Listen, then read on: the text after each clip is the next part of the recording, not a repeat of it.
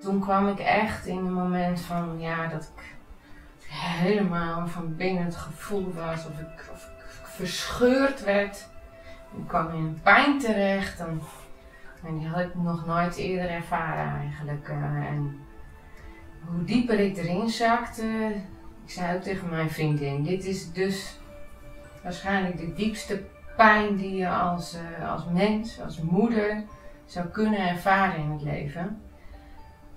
Maar op het moment dat ik erin wegzakte, ja, was, het, was, het was net alsof er, eh, alsof een, alsof een energie, een, engel achter me stond en ik een warme deken om me heen kreeg.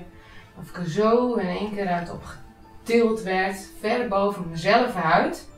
En ineens zei ik tegen haar, maar ik weet nu mijn taak hier. Ik weet nu wat ik hier moet doen. Ik, ik kan het nog niet benoemen, maar ik weet het.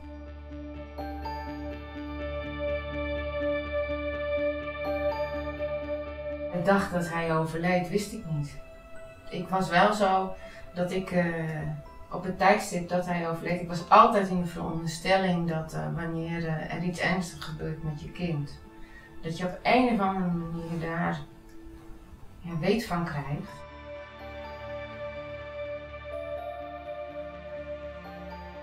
Pas vijf dagen later werden wij gebeld door vrienden van Jim uit Barcelona. Zij hadden Jim zijn al geïdentificeerd via een foto en ze hadden zijn spullen allemaal geïdentificeerd. Maar de politie had ons niet gebeld en had hun op het eh, hart gezegd van dat zij niet mochten bellen. Dus pas vijf dagen later hebben zij toch die stilte doorbroken. Anders had het misschien nog wel langer geduurd. Kunst eh, vind ik gewoon voor mij heel belangrijk, omdat ik een beeld kan geven aan gevoelens, aan emoties. En ik kan voor mezelf zien, en zo kan ik dat dan ook aan een ander uitleggen, waar sta ik nu? Wat is, eh, waar sta ik nu? Wat is de fase waar ik in zit? Eh, hoe ver ben ik met, met weer in balans komen met mezelf? Dit is eigenlijk het eerste wat ik eh, gemaakt heb hierboven. En dit is, was voor mij een symbool van, ja, je voelt je als ouder eh, geamputeerd. En zo kon ik een beeld aangeven van wat ik voelde.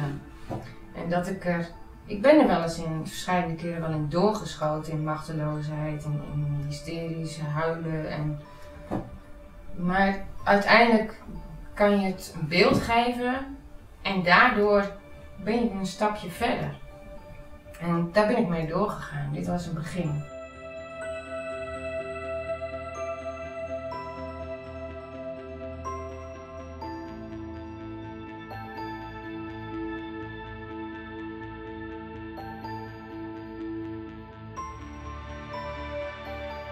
Toen kwam de Passion in Groningen. En eh, het eerste wat in me opkwam was, ik moet meelopen. Het was gewoon ook een gevoel van je laten leiden door, dit moet ik gewoon doen. Het maakt me geen uit wat een ander ervan zegt. Dit moet ik gewoon doen. Het enige wat ik gewoon heb te doen is, is te zeggen wat hij mij ook schreef van mama, liefde is gewoon puur een staat van zijn. En die boodschap, dat wilde ik meegeven. Dat wilde ik gewoon voor, voor eh, heel Nederland die daar dan naar kijkt, wilde ik die boodschap meegeven. En dat is gelukt. Ik wil dit heel graag delen. Dit is nu mij overkomen. Maar als ik om me heen kijk, zijn er zoveel uh, ouders met mij die hun kind verloren hebben. En je hoort dan op het moment zelf er iets van.